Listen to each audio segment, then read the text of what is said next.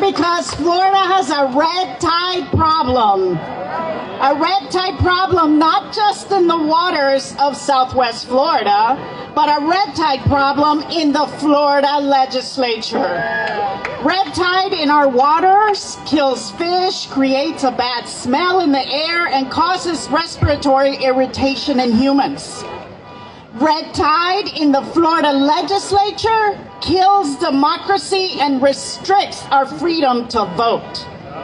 So, what are some of the symptoms of this red tide in the Florida legislature? It appears to cause a hearing problem. When the people of Florida passed a constitutional amendment to draw fair districts, instead of listening to the voters, the legislative GOP leadership literally engaged in a conspiracy with political operatives to draw maps like mine that favored the GOP and they slipped those maps into the legislative process in an effort to try and keep that from the public.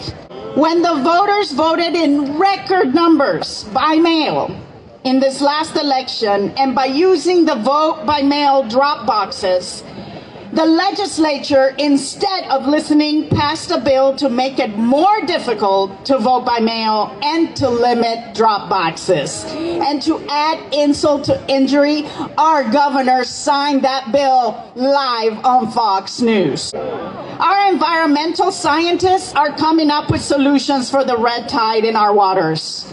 The red tide in the legislature it can't be cured by scientists or doctors, but it can be cured by the U.S. Senate passing the For the People's Act.